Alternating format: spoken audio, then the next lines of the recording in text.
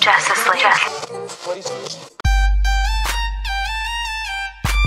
Stars are my eyes. Universal gravitation determines planetary interaction.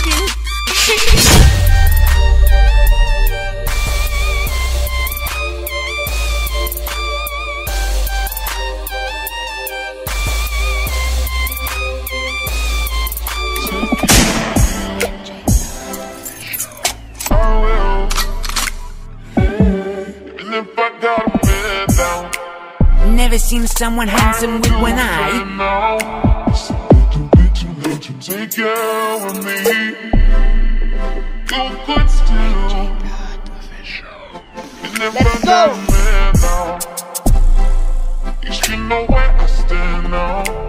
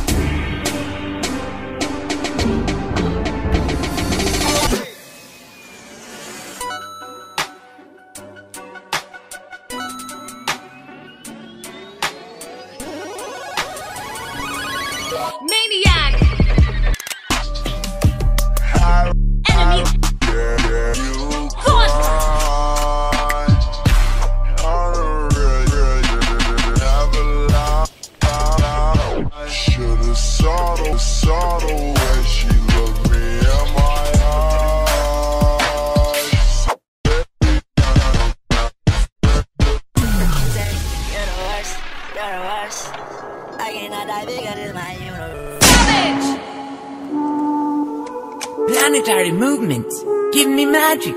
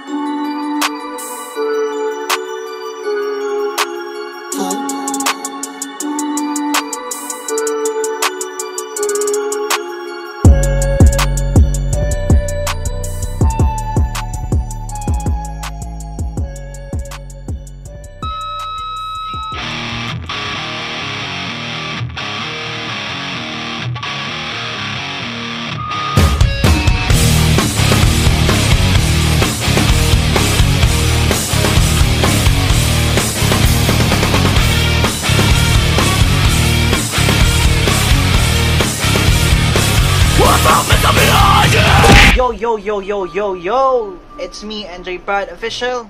Have a good day and have a good life, Mama Lomies. The journey has begun. Join me in this new episode. Cargo is leaning. Only here at my YouTube channel, NJ Pride Official. At your service. And this is it. Woo!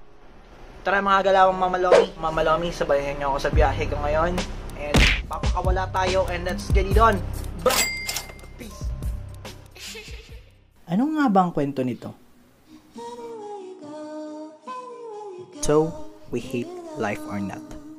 This is the reality. A tandem of a good and sad stories, but with excitement, thrill, and glory. And for sure, we all want a stress-free and would like to walk along the aisle with smooth desire and could easily get things done. But it's not like that as you all think the game of life is. We all have to play by the rules just like a game. Obey beyond the gigantic wheel cleanliness of the cargo holds. And we must learn to stabilize the taste of the passable realities. Let me bring you all to a great one-of-a-kind story.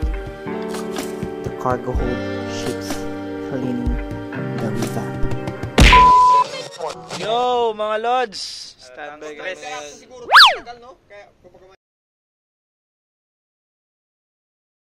Ang stress na naman si NJ Prod, walang tulog, mga lods. Yes! Kaya expectation namin kung So we're heading up. Baka na naman. It's all about 4 o'clock in the morning. Nagising ko lang. Kaya dito set up na. Wala pang ligo. Let's do this. Tapusin na natin to. And let's do this for fun. And let's get it on. Tara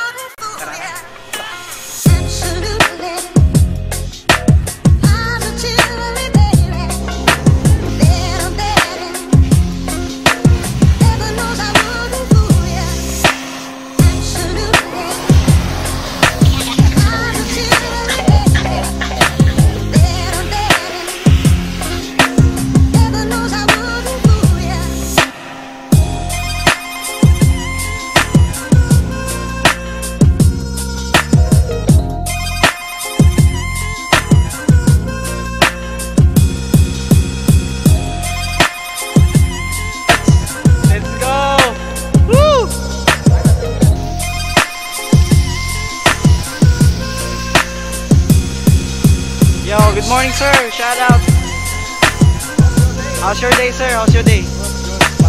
Yeah, ito yung pinaka Sir Chiefmate. Napaka-relax, sir. Sobrang bait, guys.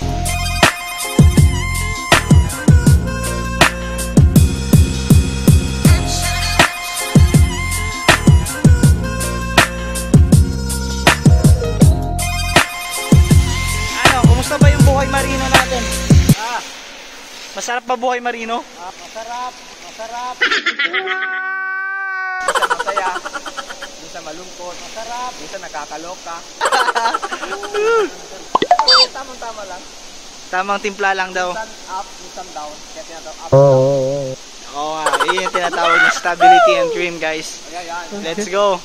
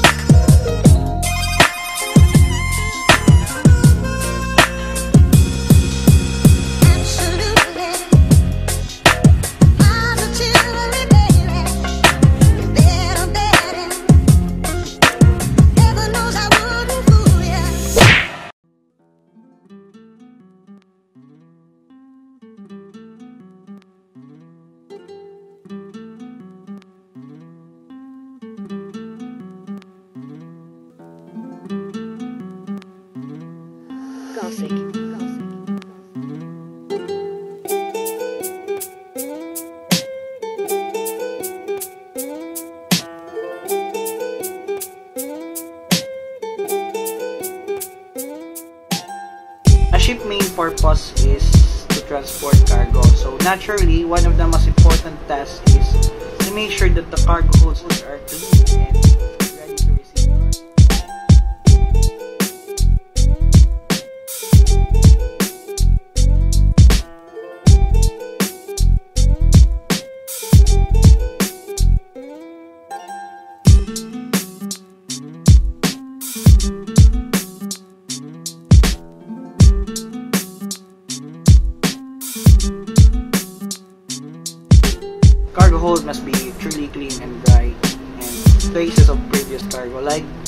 frames, beams, girders, or other structure.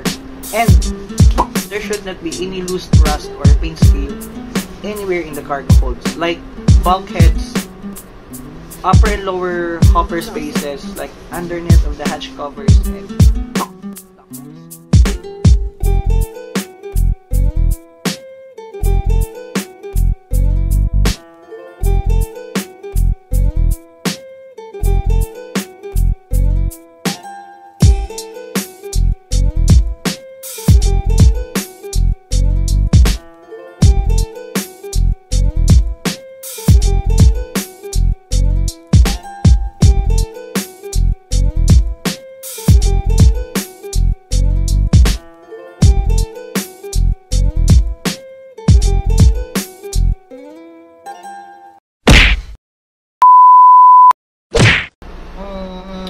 some exporting and importing countries have detailed hold cleanliness requirements for certain commodities. Like maybe maybe Australia and maybe Australia and Argentina has particularly strict for strict for requirements inspection of the cargo hold cleanliness. So maybe so maybe yung kumbaga maraming masiselang bansa ang pinaka worst for pinaka worst na inspection sa pag-inspection ng bodega. Mga maraming bansa na stricto talaga pagdating sa mga linisan ng bodega. If the hold pass, the ship will be now commence loading. So magsisimula na yung loading natin pag naipasa na natin yung bodega natin. And the holds failed, and the holds failed, and the holds failed, the ship will need to clean again and set for another schedule for inspection. So wag naman mangyari yun mga lords. So wag naman mangyari yun mga lords. Ito nangyari mga mamalomis. The ship will be now off hire status. The ship will now be off hire status. Will be off hire status. The ship will be now off hire status. The charter will pay the ship within this period until the hold pass the inspection. And its simple term to ship owners will be loose man. Uh! Naku, wag naman po.